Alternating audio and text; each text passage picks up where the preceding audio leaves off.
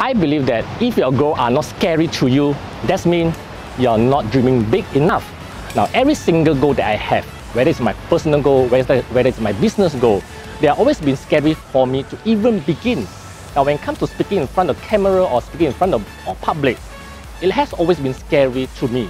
Why? Because in my entire life, I did not join a debate team before, and my spoken language wasn't good enough, and I was horrified in speaking in front of big audiences.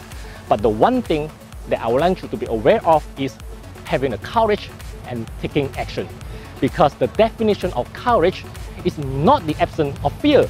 It is taking action in spite of fear.